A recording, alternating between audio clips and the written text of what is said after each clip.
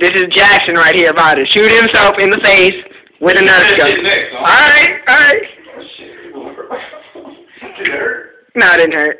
It was just real quick. You close your eyes. You close your eyes. Yeah.